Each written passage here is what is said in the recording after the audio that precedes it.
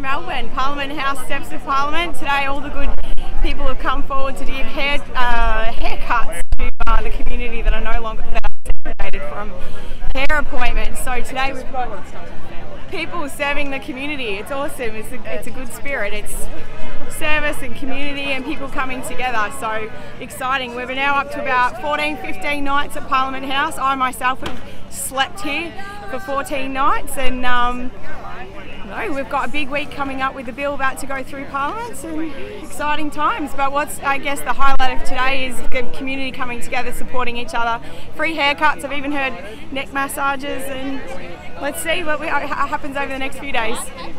Thank you. Well, people are welcome to come down if they want to, uh, to the steps of Parliament for hairdressing today and tomorrow.